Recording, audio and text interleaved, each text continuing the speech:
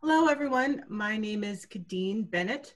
My pronouns are she, her, hers, and I'm the ACLU of Illinois Advocacy and Intergovernmental Affairs Director. So welcome to our virtual town hall. Our the title for our virtual town hall is Privacy and Civil Liberties in a Time of Great Change. It both feels spot on and it also feels like an understatement when I think about the moment we're in right now. There's so much happening in the area of privacy, technology, and surveillance. But tonight, our conversation will focus on privacy and civil liberties issues as they intersect with the ongoing global pandemic that is COVID 19, the ever increasing use of technology by police and their collaboration with private companies, and the uprising and protest movement in response to the continuing, continued killing of Black folks at the hands of law enforcement. We've received lots of questions in advance of tonight's town hall, and that's really helped shape the discussion today. But don't worry, if you didn't submit questions, you still can. You can put them in the chat during the conversation or email events at aclu-il.org,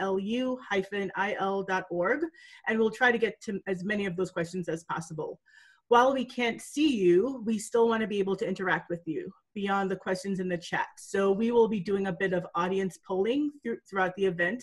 So keep an eye out on your screen. Um, actually, let's see if it works now. So um, let's go to our first poll question just to get a sense of who's in the audience. So uh, Jay is going to bring up our question, which is before this town hall, how actively were you thinking about your data privacy rights? So click on your answer, think about them often, think about them sometimes, don't think about them much, and hit submit. So while the questions are being tabulated, we're going to meet our panelists. And more details about our panelists are in the chat box. Um, first is Rebe Rebecca Glenberg, who is a senior staff attorney at the ACLU of Illinois. Uh, Rebecca works on a range of issues, including free speech, voting rights, and immigrant rights. Ooh, we have polling results now. 40% of you think of them often, 44 think about them sometimes, 9% don't think about them much. And uh, hopefully that 9% will move up mm-hmm. those top two after we're done. Um, our second panelist is Peter Hanna. He is a legal advisor on privacy and technology with the ACLU of Illinois, and he's also a board member and a professor of law at Kent University. Peter has broad experience providing legal and strategic guidance on complex issues at the intersection of technology and law. And last but not least is Harper Reed. He's a technologist, an entrepreneur, and hacker and he spends most of his life building things, hacking things, and talking about doing both of those things. So welcome panelists. Um, so on March 9th, with 11 confirmed cases of COVID-19, Governor Pritzker declared all counties in our state a disaster area in response to the COVID-19 outbreak. As of today, Illinois has seen uh, close to 7,000 deaths and over 143 positive tests have been performed. We've heard about contact tracing being used by the government to help limit the spread of COVID-19 and tech companies are getting involved in contact tracing. Harper, could you start, start us off by telling us what is contact tracing and should we rely on tech to address this spread? Well, th thank you, Katie, for having me. And um, I I can tell you about contact tracing. The first thing I have to say is that um, I am not a public health professional. My background is on the technology side. And so there's this whole part of this, which is this the public health side, which is this amazing kind of thing that we've used for almost 100 years um, to defeat epidemics, and that is contact tracing. And really, what this is, is it's about finding someone who is sick from some virus or what have you, an STD or really anything, and then understanding how they um, came to be sick with that so that we can better model and understand how viruses are spreading within our communities to kind of defeat that. A lot of it is about um, following that kind of path and then making sure that the people who are most affected are able to have a public health intervention. Um, and that's largely contact tracing. And how this looks in reality is um, I, let's say I go and get a positive, or I go do a, a COVID test, I get a positive response. Um, and then there's some sort of intervention. Maybe someone calls me on the phone, a text message, depending on the locale where I live in. Um, and they call me on the phone and they say, hey, you have a positive response uh, or, or result from this, this test. Um, and then from there, they might ask me some questions. They might say, you know, can you um, remember who you've talked to? Um, are you interested in sharing the, that information? And the idea here is that by sharing that, then that public health person can call those people and notify notify them that hey they were exposed to covid and maybe it's time for you to go get a test and isolate. And the goal here is to do an early notification of exposure because we know that anyone who has an early notification of exposure has more of a likelihood of, of getting the care they need and, and, and ultimately surviving. Um, and that's the goal. Um, where this gets a little thorny or a little tricky is when we start automating this. Um, what is a largely anachronistic kind of um, experience. Someone calls you on the phone or they knock on your door um, and they talk to you um, is, is being automated um, by many companies, Apple and Google in, in, in including Apple and Google, I guess. And um, they're, they're releasing this as what they're calling exposure notification. Um, and what this does is it takes out a lot of the public health aspects and adds in a lot of technology. So we all have our devices, our little devices, and, and what it does is it these devices send out a little signal um, just constantly. I mean, they're already sending out lots of signals. This is just an additional signal over Bluetooth, and then that interacts with devices. So maybe I'm walking along in the park, um, I see Peter, my phone connects to Peter's phone, and we just send some signals back and forth. Then the next thing I know, I see Khadine, same signals back and forth, and I see Rebecca. We're sitting at a park bench together and life goes on. Um, and then maybe the next day I get a COVID test and it says, Harper, you were positive. And then what my phone does is I just say, oh, I'm positive, And I do that through verification of a test result. So I can't just do it for fun. Um, but I say, I'm positive on my phone. And then it sends out a signal um, to the internet. And then, and that signal is just an ID that said, these are the numbers that I saw. These are the IDs I saw. And the thing that's important about this is it puts that on the internet and it marks those IDs as positive. Um, and then Peter, Rebecca, and Khadine's phones look at the internet and they say, oh, these IDs are positive. This person is positive. Um, and then they're, they can be notified. Now, I, I'm playing this back as I just said this, and I did a terrible job of describing this. Um, and I think that's demonstrative of how complicated it is. Um, really, what is happening is your phone is sending out signals, other phones are listening, and then if your phone is marked as positive, um, it puts the signals that it sent out on the internet, and other phones get to look at that and say, okay, these signals have been positive. Um, what this means is that it is theoretically privacy preserving. I say that in quotations because it's very speculative. We don't know what some of the liabilities are, et cetera. But the, but the design by Apple and Google was to protect privacy. Um, what this allows is, once again, early notification of COVID 19. It allows for someone like myself or any of us, or really the 80% of people that have smartphones, um, to be able to um, participate in a system that um, notifies you of early exposure. But this is only if everyone uses it. Um, so I think, I mean, I could go on forever, but I don't, I don't want to, I don't want to waste too much time here. Um, is that good? Is that, is that helpful, Katie and Peter, Rebecca? That's super helpful. And we've been having conversations with policymakers at the city and state level because they're thinking through what's the best approach.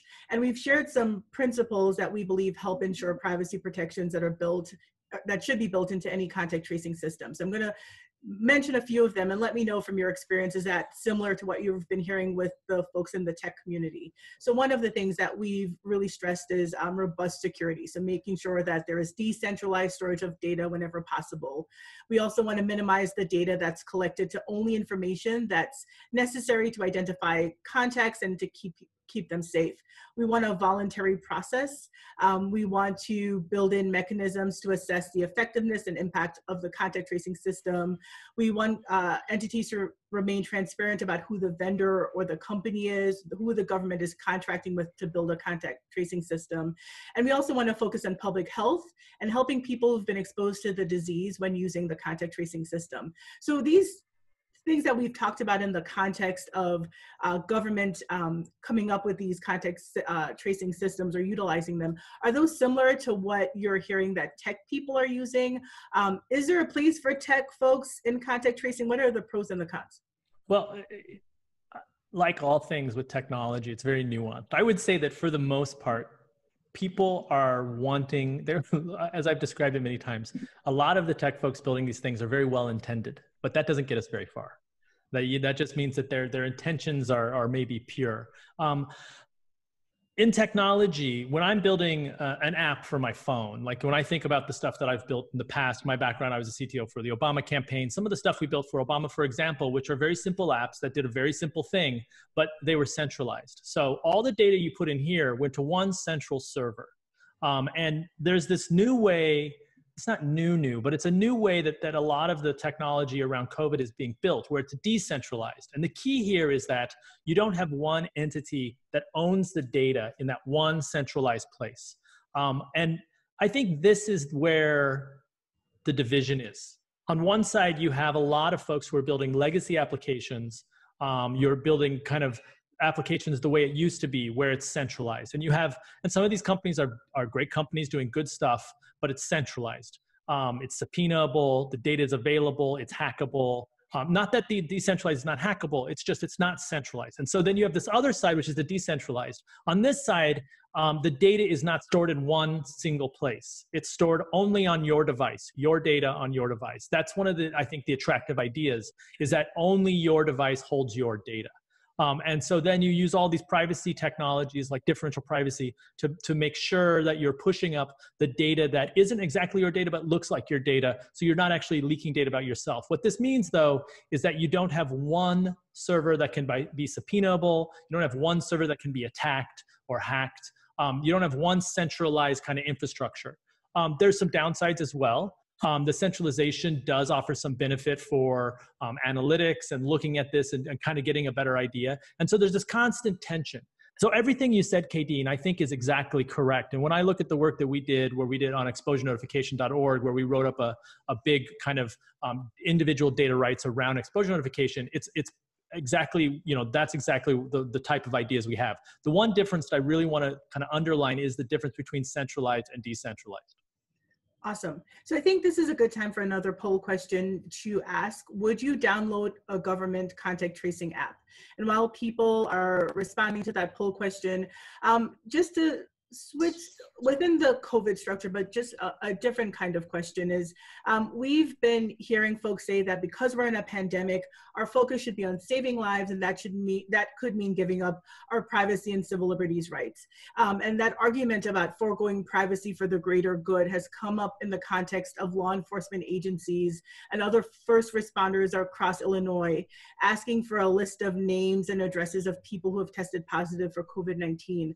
Rebecca, can you tell tell uh, the folks why and how we at the ACLU of Illinois have pushed back on the re release of pers personal medical information to first responders? Yeah, um, and and I will say, you know, it, it, as a general matter, the ACLU and on all of these COVID issues recognizes um, that certain things that we have to do to protect public health are things that in normal times we would view as an unacceptable infringement of our rights, um, like telling people to stay home all the time.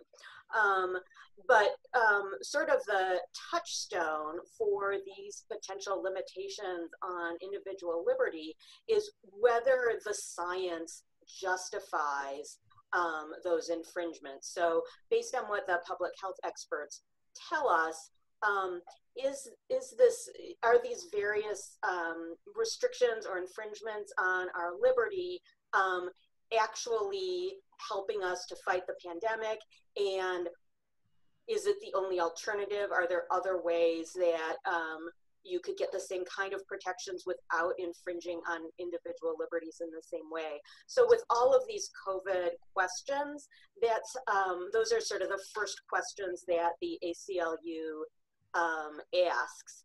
Um, so in the in the case of these um, um, first responders who have asked public health departments um, for names and or addresses of people who have tested positive, what we have heard consistently from public health experts is that first of all, that kind of a system damages public health um, rather than protects it and that it does not um, does not really protect first responders either and may even make their job more dangerous. Um, so when we talk about the public health overall, um, as sort of you can gather just from the description of contact tracing that Harper just gave us, you know, information um, about where the virus is uh, how fast it's spreading. Um, those sorts of things are really essential to uh, controlling the virus. And in order for us to get that information, people need to feel comfortable going and getting tested um, when they are worried that they're exhibiting symptoms or that they may have been exposed. Um, people need to feel um, um like they're able to um, go and get tested without any adverse consequences. So you can imagine that when people's um, private health information may be um, disseminated if they go and get a test, that is going to deter a lot of people from getting a test. And moreover, um, you know, it'll especially um, deter people who um, have some special reason for not wanting the police to know their identity or their location, or who have just general concerns about um, their identity or location um, being exposed. So think about um, undocumented immigrants don't really want their name and address to be in any kind of database that's going to go to law enforcement. Um, uh, survivors of sexual violence um, may have may be trying very hard to conceal their location from um, from prior abusers who may very well be first responders. Um, so you have um, this whole, you know, you have this whole public health system that relies on getting this information from people, um, and yet um, you're deterring people from giving up that information the more that you disclose it, especially to law enforcement. Thanks so much. Um, so just to hop back quickly to Harper before we talk about Clearview. So Harper, in a one minute or, or less. Give it a sense of, so other than contact tracing and release of personal medical information, what other check and practices might the government or private companies mm-hmm. start using in an attempt to respond to the pandemic and as we continue the reopening process? And should people be wary of that? So a minute and a half to say all of that yeah. in an hour. great, great. So I think the answer is yes, people should be very concerned. I think the most concerning um, technology that I've seen has been around health passports. So these are um, health credentials, basically something on your phone or a piece of paper or something that says that you are free of COVID and so therefore you can work. Um, but many of these systems do not offer ways to abstain. They don't offer ways to get out. Um, and in, in many cases, um, you know you, you, won't be let into a job or you won't be let into a space unless you participate. And you can't participate without putting your data into some sort of centralized system. And i think there's a lot of concern around that. I think we'll start to see much more about this um, and probably have its own kind of um, hour long session itself. Awesome so speaking of tech, last week uh, the ACLU filed a case on behalf of Mr. Robert Williams, who was arrested and spent time in jail for a crime he didn't commit based on flawed facial recognition technology that resulted in a faulty match. Uh, facial recognition systems are becoming more common in our cities, and it's become a big business that law enforcement agencies across the country have embraced. Peter, can you give a brief description of the technology, uh, how it's used, and why it raises privacy and civil liberties? Concerns? Yeah, of course. And, and, and thank you, uh, Khadine and uh, Rebecca and Harper and, and the entire ACLU family for, uh, for putting this important town hall together. Um, so just like your fingerprints and your DNA, uh, each human face has a specific geometry uh, that can be represented with a unique value. Um, you know, typically the most important facial features that a uh, camera looks for in a facial recognition uh, system are your eyes, your nose, and your mouth. Those are sort of the, the three sort of things that drive it. Um, but you know, it also means that some facial recognition technologies could make a positive ID on me with just my nose if it's a clear enough image.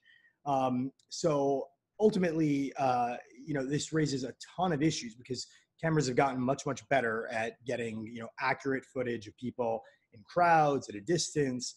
Um, and as cameras have gotten more powerful, they can capture that geometry data in crowds, and that geometry data can then be measured against or compared to a database of facial geometry that's been accumulated from other sources. So Clearview went out and they took all the public profile pictures that we have on Facebook and LinkedIn and Twitter and everything else that's been publicly made that has a positive match to a name. They created a huge database and they extracted the facial geometry data from those public images.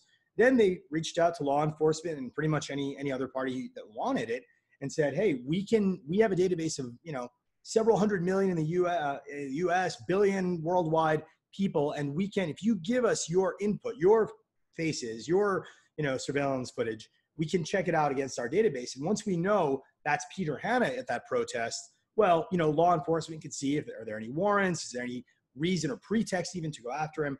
Um, so, you know, it really, facial recognition just fundamentally raises uh, a huge array of civil liberties concerns, but in the interest of time, I'll focus on two. First, it is, it is the nightmare dystopic scenario of just ubiquitous human surveillance. You can't go outside of your house without a machine knowing you are you and you are where you are doing the thing you're doing at any given time. So you blanket a place with cameras, you hook it up to the Clearview database, you're going to figure out who like 95% of the people are, certainly anyone who's ever uploaded a photo to the internet. Um, and, and the second thing is, it's not perfect technology. These algorithms are made by people, um, and these people bring their biases into them. So there have been studies that have shown that, you know, among people of color, uh, facial recognition is much, much less reliable. Uh, you know, different genders, there's huge reliability gaps.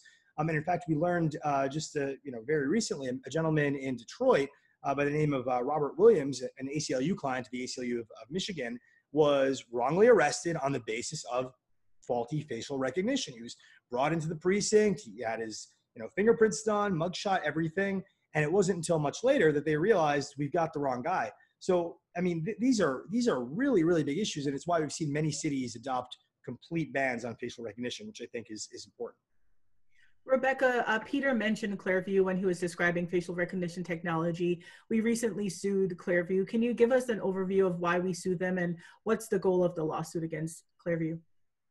Yeah, so as Peter um, indicated, Clearview is the most sort of pernicious and giant facial recognition um, program that we have seen to date because they scrape up all of the publicly available images on the internet. So they have about 3 billion um, face prints in their database. And so, you know, when uh, law enforcement or anyone else who has the app um, takes a picture of someone and uploads it, it's not only like instant identification of that person, but also any of the information about that person that is associated with their photograph in whatever um, social media or news outlet or um, database it was that picture was found.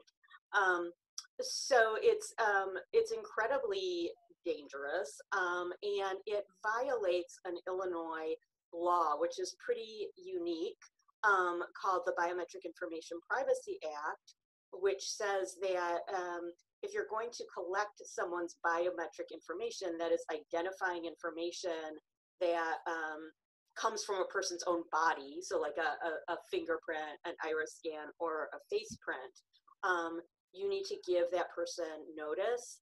Um, you need to get their consent to create that um, that face print out of their photograph.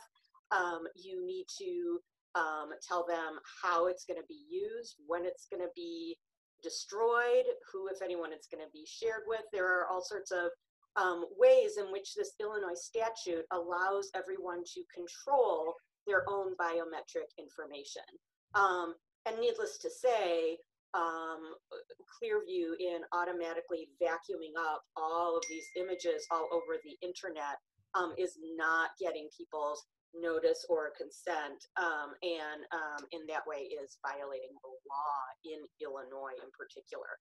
So, you know, um, we want them to stop violating that law, um, either by stop uh, stopping um, generating face prints out of our images here in Illinois, or um, provide the notice and consent that's required under our law.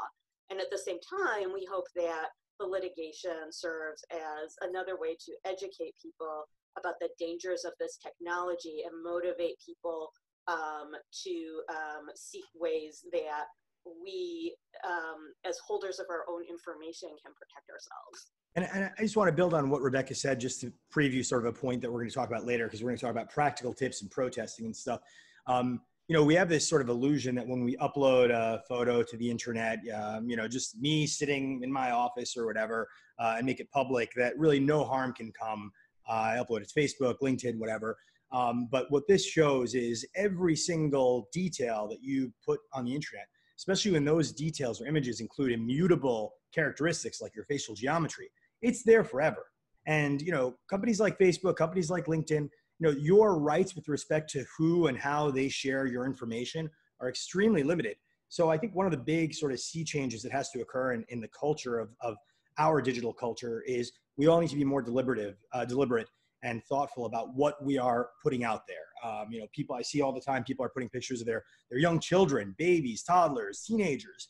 Um, and I think to myself, you know, I obviously don't have kids, but I, I think to myself, how could people be doing this um, knowing that this is there forever and their relationship with Facebook, with Google, with LinkedIn, with Amazon, et cetera, is so, so limited in terms of the rights they have. So just, I want everyone who's participating to keep that in mind.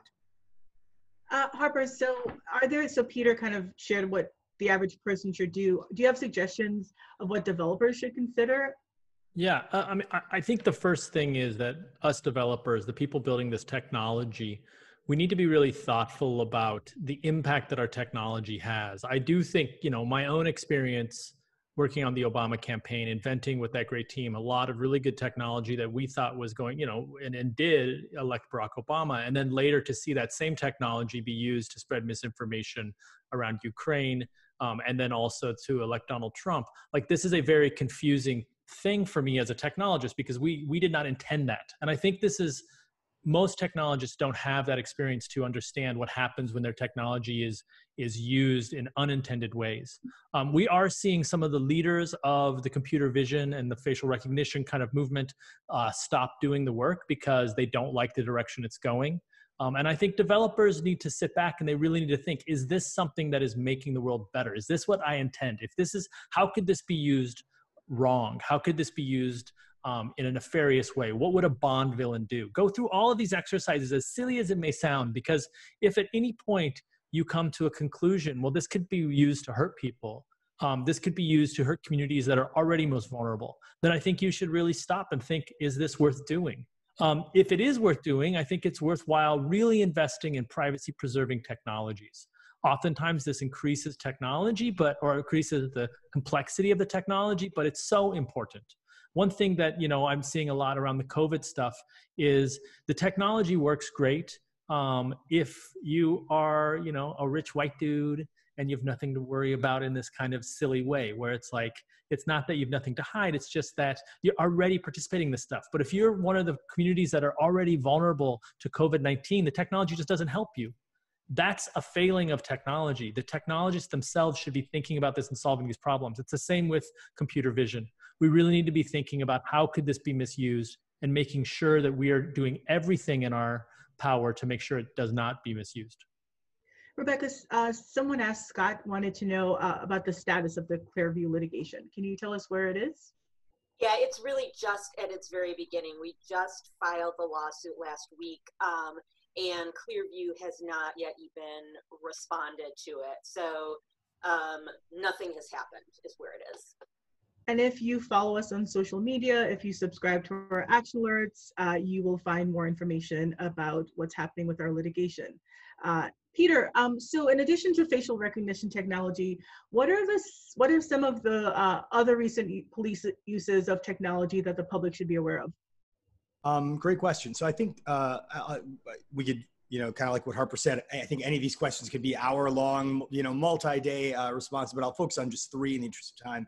Um, first, I would say drones. Um, you know, they've been around for a long time, but they're getting more and more sophisticated. And, you know, we've seen military drones flying over our cities here domestically, um, you know, but also the next generation of drones are like handheld, like pocket drones.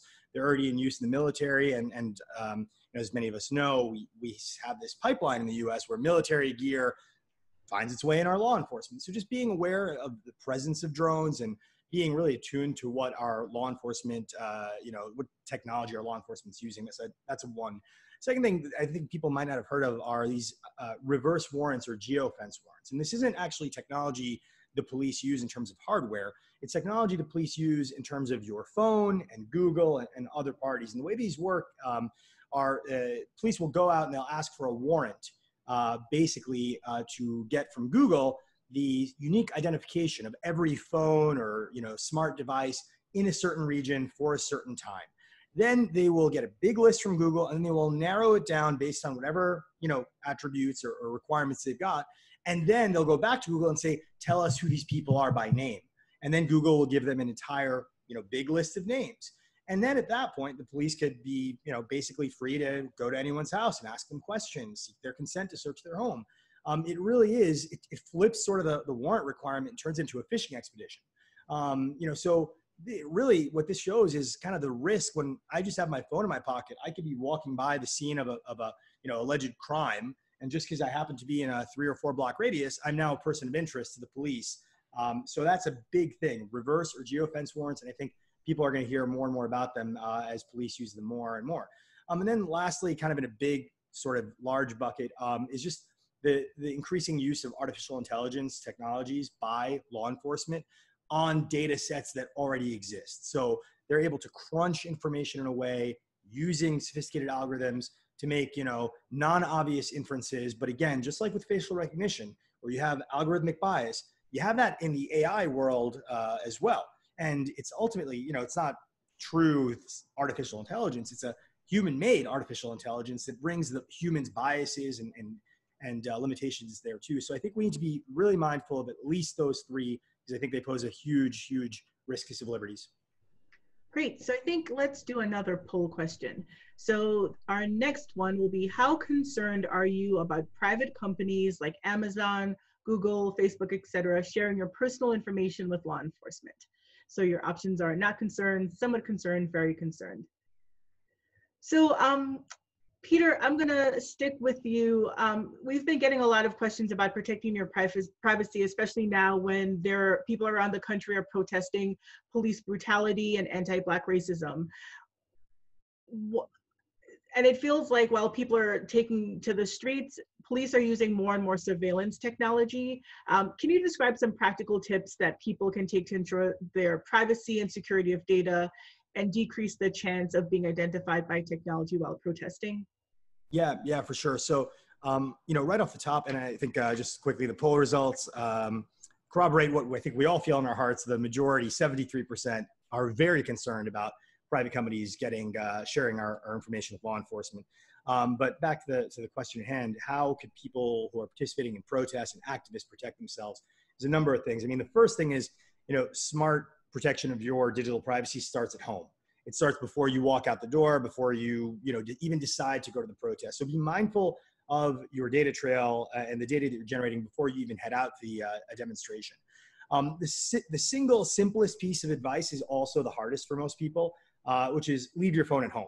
Like if you can leave your phone at home, leave your phone at home. That's not a, a cure-all. You, are still going to be subject to facial recognition and all sorts of other stuff, but it's going to go a really long way.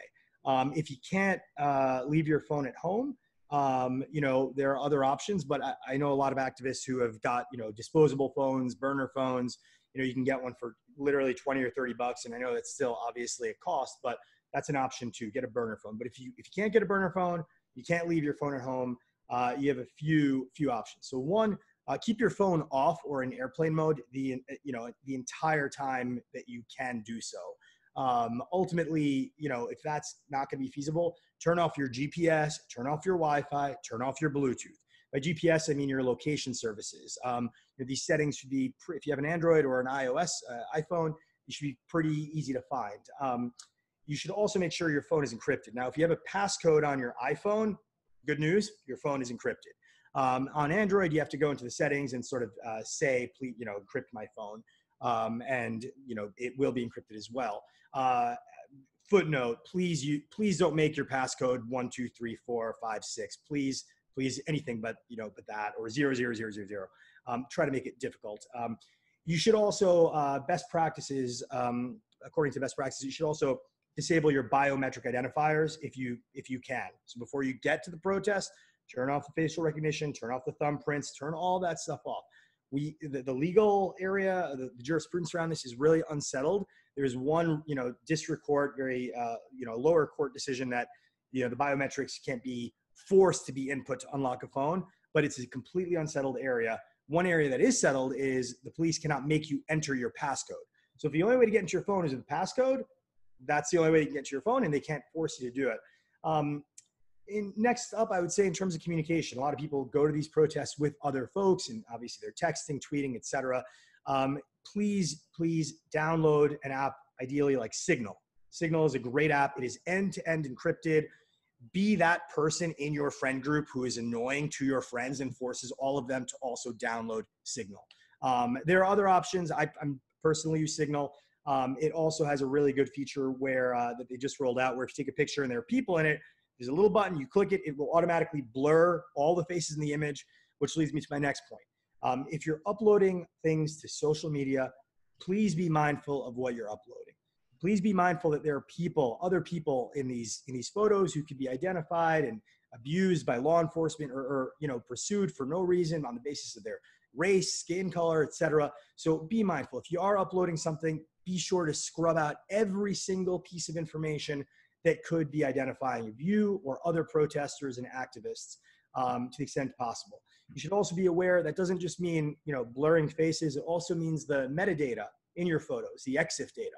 Um, a lot of applications let you scrub that out um, as well.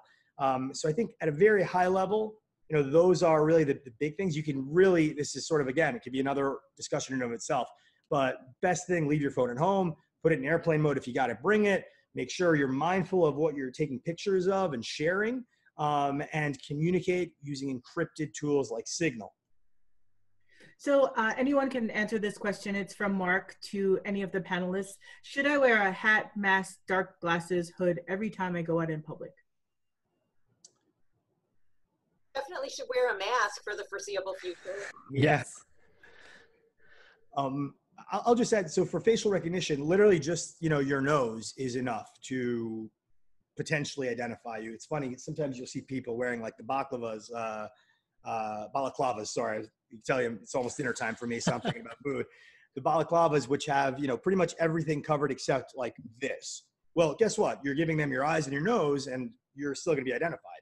Um, there's actually a company uh, called U- URME. They make a, a, paper surveillance mask. You can go to their website. You can download it. You can print it out, and if you, it's actually someone else's face, it's an artist's face. You can literally tape that to your face, and it will throw off uh, facial recognition.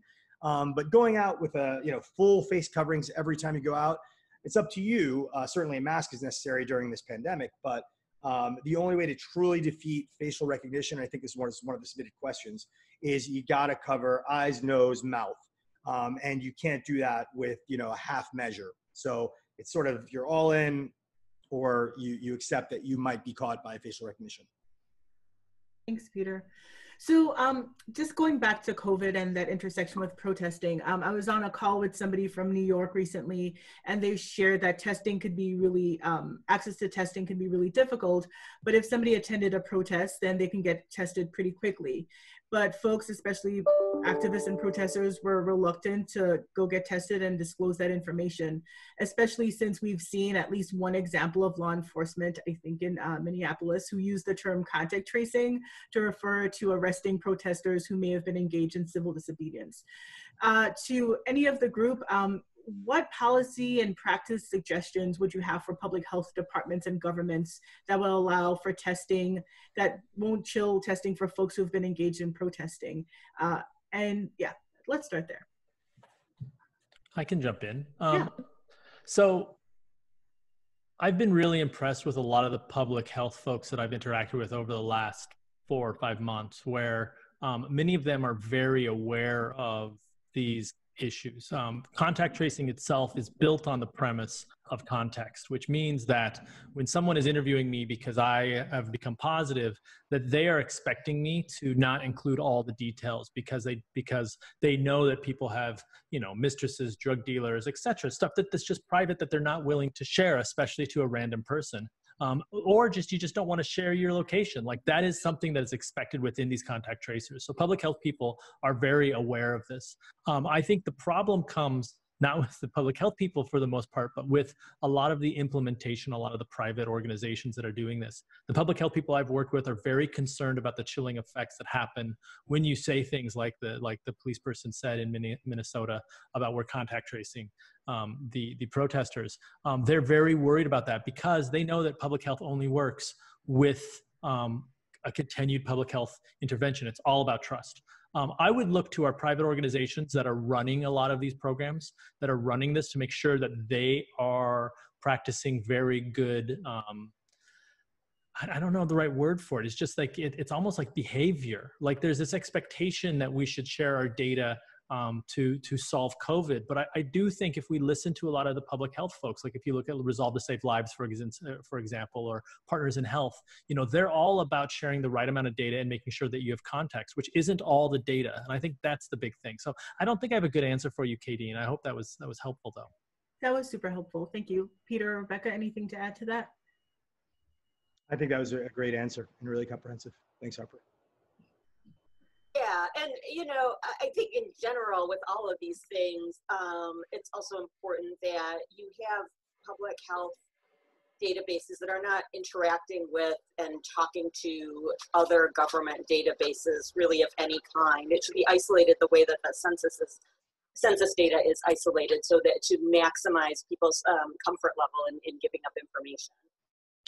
Can I, there's one point I want to build on just what Rebecca said and Harper said, which is uh, we've we've taken like the COVID nineteen contact tracing. It's really interesting to look at it as a case study, right? Because mm-hmm. you can see that the uh, the ACLU and Harper, myself, others, you know, who are Apple, Google, they've looked really hard about the privacy interests here as we do contact tracing. Like we got to be thinking about how long this data is stored. We got to be thinking about who it's shared with. We got to be thinking about how much we need it for, like what we need it for.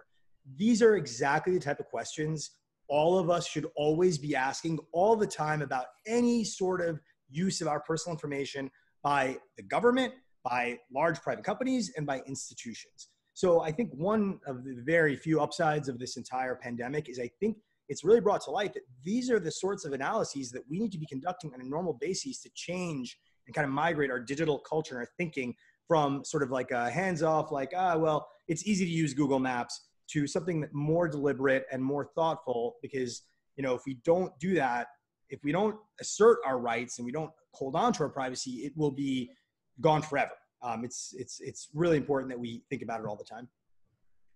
And kind of related to that, John um, has a question or more of a comment, a request in the chat.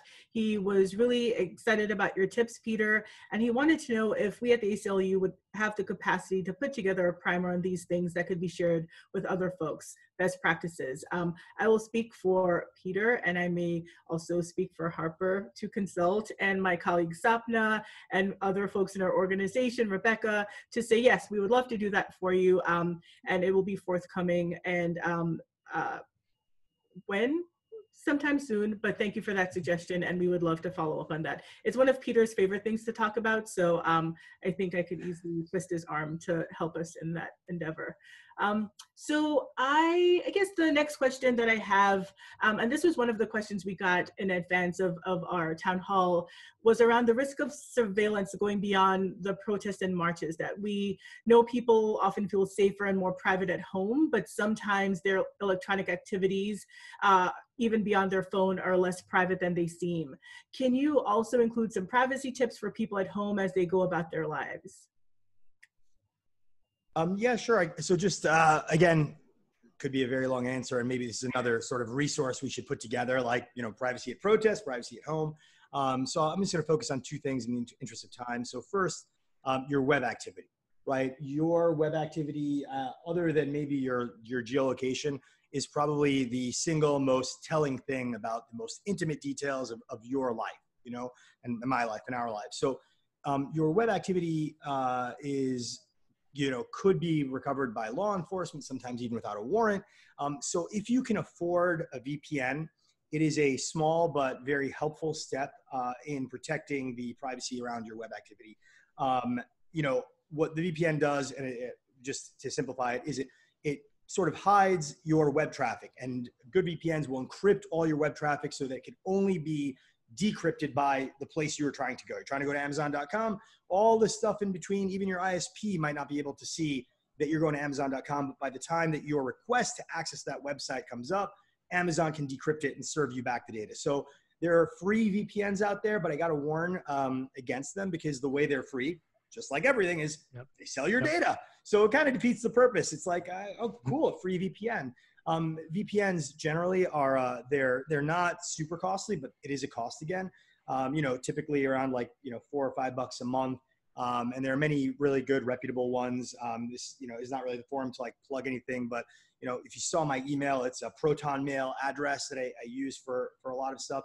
Proton uh, Mail people are in Switzerland and they're associated, affiliated with CERN, the uh, physics research group. Um, and they also have a VPN that's pretty good. Uh, private internet access is another one. Um, I think uh, Harper might have some uh, additional recommendations um, as well. Uh, the, the second thing I would emphasize for privacy at home is if you have a connected device in your home with a microphone or a camera, you must assume that that information can be provided to law enforcement, probably without a warrant.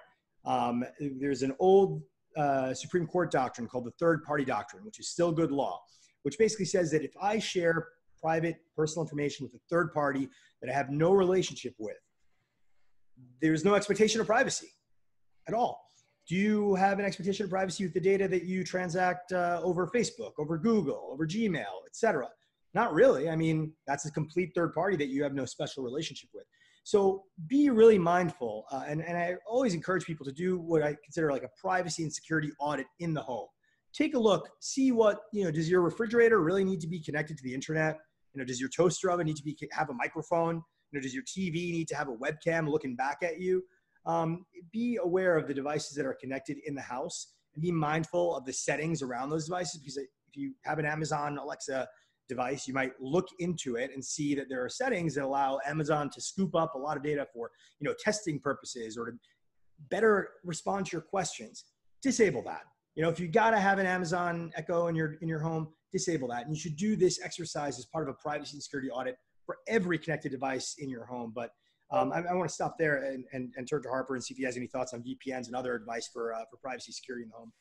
Well, I mean, your your recommendations are right on. Um, I think those are that's exactly the right thing. I, I mean, I think the best thing that I use is Signal. I use Signal a lot. I think it's very good. Um, it also has good telephony, so you can make calls with it, um, which are encrypted. Um, I mean, the the the the voice assistants like you know Google Home, Alexa, etc. It's very very hard to have those in your home in a in a secure fashion or in a private fashion. And so, um, you know, although they're entertaining and sometimes they're helpful, there's other ways to check the weather. And so it's just about understanding, you know, what what are you willing to share to these big corporates, um, knowing the the risks. Um, I, I, do think that there is a you know there is a lot of really cool technology that's coming out that is and is already out you know you know Google Home or Alexa that's a very good example and and there's also um, alternatives where the entire data lives inside of your house.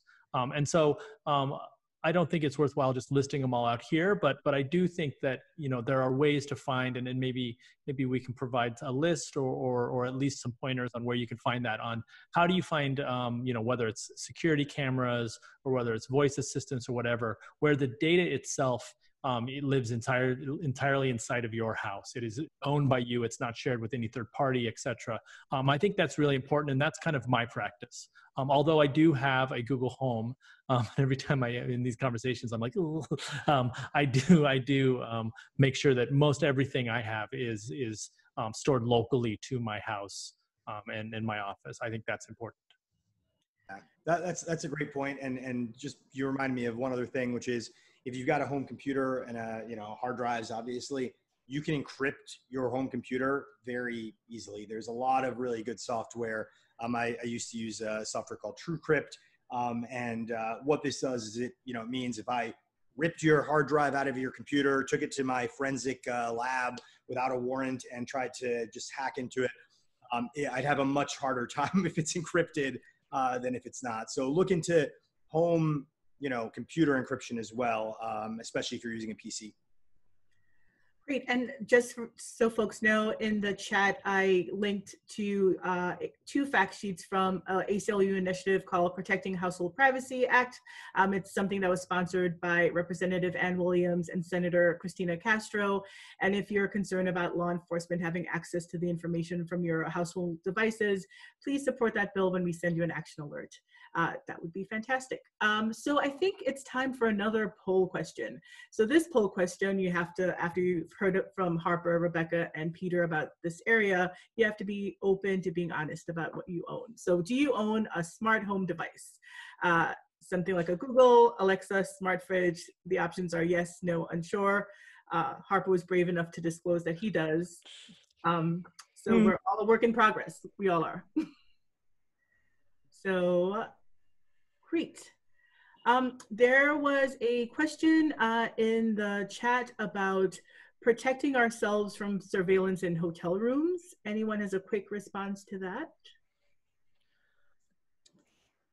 I can certainly jump in. So I traveled before COVID quite a bit, um, and you know, one thing that um, when I traveled internationally, um, I would always try and use. Um, I would basically not connect to the hotel Wi-Fi.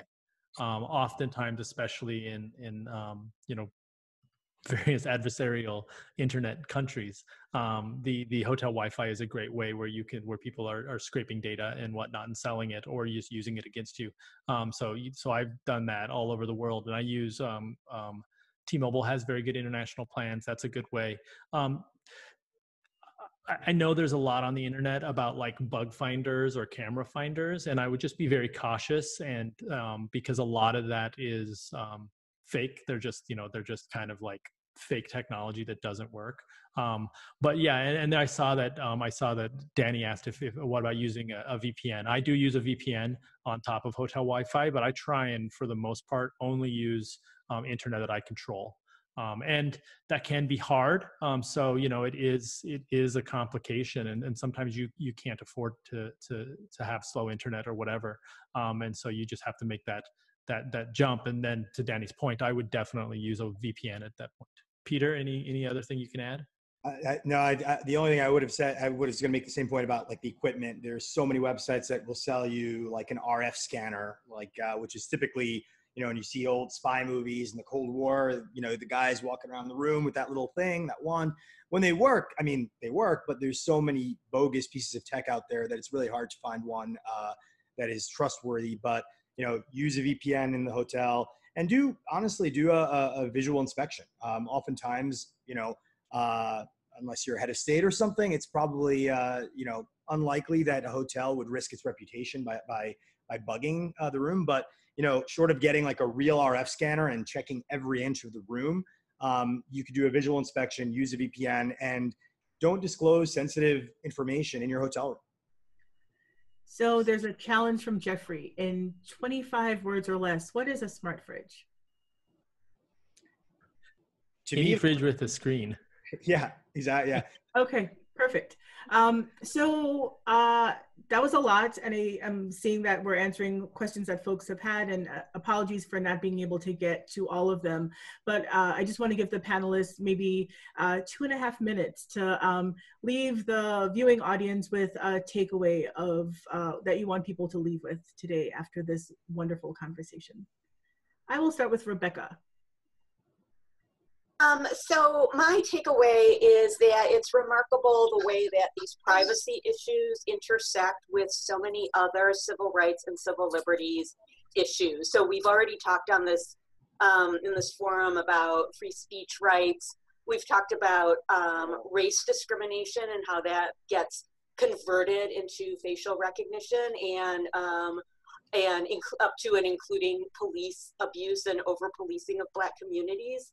Um, we have talked about um, how, um, you know, so if you want to really target any particular group, um, you know, you can set up your uh, facial recognition or other surveillance technology um, in front of the mosque or um, the doctor's office or you know you, you can it is a it is a great aid in um, discrimination against any particular group. Um, so that is my takeaway is that, you know, it's not just sort of privacy in the abstract, but all of your other sort of um, rights um, and liberties are affected by this sort of um, use of surveillance technology. Peter? Um, yeah, so just three things. Um, almost 40 years ago, uh, Eisenhower in his farewell address talked about the military industrial complex. And I remember, um, you know, I was hoping uh, President Obama would talk about what I've, I've called the private public pipeline. Um, and I think when it comes to personal information, what we're seeing is just a merger of private, in, private companies that collect tons of data in exchange for, you know, some you know, sometimes a very valuable service, but sometimes a nominal one, like a flashlight app. Um, and what we're seeing is a lot of the private data, privately held data collected by corporations, is just seeping into the public space and back and forth. And I think just as, as much as the military industrial complex, something that we needed to watch out for and need to watch out for and will always probably need to watch out for. I think this private public pipeline is like the next big, big threat to our civil liberties and, and civil rights in this country. Um, number two, I, I, just want people to think about we we've talked about a lot of like bite-sized specific things, right? Like contact tracing, like protest privacy, smart devices. Um, but there's, you know, Rebecca mentioned the intersectionality of privacy and, and, and uh, surveillance across many different areas. There's also intersectionality with respect to just how you live your life and how you live your digital life, right? You sign into your Amazon account with the Gmail login. Your all your order confirmations, right? They go to your Gmail account. So it's not just Amazon who knows what you buy, it's also Google who knows what you buy. And Google has very been very open about the fact they scan your emails to serve up ads, not just in Gmail, but in YouTube and elsewhere. So an easy thing anyone could do is try to like divide sort of the different sources to limit that kind of nefarious intersectionality. So you set up a Proton Mail account, they're free. Make that your Amazon sign in. Deprive Google of that information. If you have to have a Facebook account, link it to an entirely different email. Put in some, some additional information that might not be totally accurate. Um, because the more we can break those bonds that like link all these things across these different areas, the better. Um, and then the last thing I'd say is, you know, the ACLU, and its 100 year history, um, you know, incredible history focused on our rights and our liberties and, and I mean, play such a critical part in the American story. But one of the things about those rights and liberties over time is they've almost always been tangible. They've been corporeal. They've been like physical. You're depriving me of my liberty, right? You're depriving me of my life, my, my freedom, etc. When we talk about privacy, it's it's intangible. It's non-corporeal. It's it's ethereal. So it's really easy for us to just forget that this right exists and we have to fight for it just like we have to fight for the other rights that this you know incredible organization has fought for for a century. But you're not. None of us are going to be successful unless we help the ACLU. And to, to build on what Khadine said and what Rebecca said, and what Harper said, we need to be activists in our own lives and when we're called upon by organizations to call our legislators, call our policymakers, take affirmative steps to fight for our privacy and treat this right just like all the other really important rights uh, that we have fought for for so long. Harper. That's that's that's this is a lot to follow. Um, I think that Peter and Rebecca both said such, such great things, and um, so from my perspective, you know, I, am going to talk to the technologists eh, kind of in the room, and and I'm just going to remind everyone that um, I think that we have a big problem with technologists building software and not really understanding how it will be used by its customers. Um, I'm pretty sure that Clearview didn't invent the algorithms that they're using to do facial recognition. Someone else did that, and that person um, is not in the conversation about how Clearview is is problematic. And I think that that's something that we have to um, acknowledge that a lot of people who are building technology, that technology can then be be taken and used against all of us. Um, and, and more importantly, it can really be used against our most vulnerable communities. Um, and so I think it's really important for us to, especially as technologists, to think very carefully when we are building technology, um, can this be misused? And the answer is probably yes. And if the answer is yes, then how do we make sure it's not misused?